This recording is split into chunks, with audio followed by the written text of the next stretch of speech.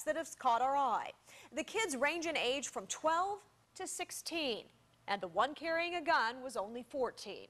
KSN Crime Tracker Shanda Brown looks at the trend of younger kids getting mixed up in gangs. Gun.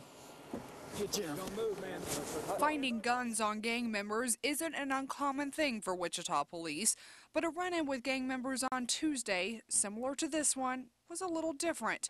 It was here near 15th and Waco. The police picked up several kids, the youngest just 12. It's um, kind of indicative of the pattern that we're seeing recently, where younger and younger people are being involved in gangs.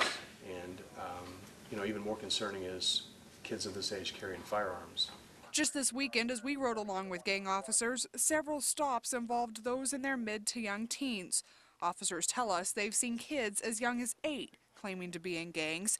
Child psychologist Howard Brodsky says he's not surprised. These kids today are less supervised than any generation before. That, combined with the fact that kids are craving to fit in, makes these scenes all the more common, and the ages of those involved becoming younger and younger. Less moral training. They're probably getting less time with role models that are appropriate.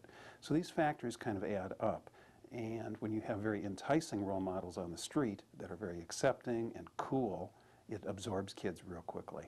To counteract that influence and avoid run ins like this, Brodsky says the solution is one parents have heard time after time, but takes extra effort at home. Know firsthand who your kids hang around, ask where they are, and follow up to make sure they're not lying. Hook 'em up, hook 'em up. As recent gang violence has proven, the stakes for parents not paying attention could be life and death. Shanda Brown, KSN News.